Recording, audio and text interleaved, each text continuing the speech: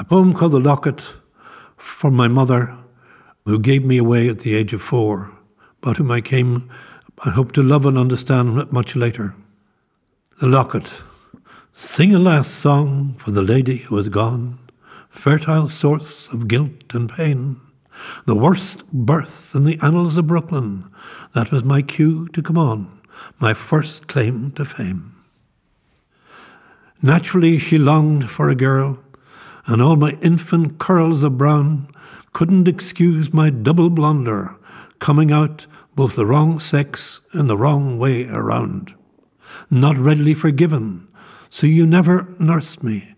And when all my father's songs couldn't sweeten the lack of money, when poverty comes through the door, love flies up the chimney, your favourite saying.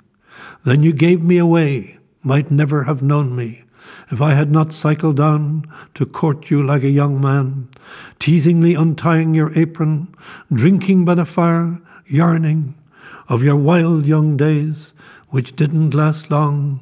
For you, lovely Molly, the belle of your small town, landed up mournful and chill as the constant rain that lashes it wound into your cocoon of pain.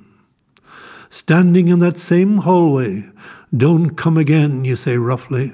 I start to get fond of you, John, and then you're up and gone. The harsh logic of a forlorn woman, resigned to being alone. And still, mysterious blessing, I never knew until you were gone that always around your neck you wore an oval locket with an old picture in it of a child in Brooklyn.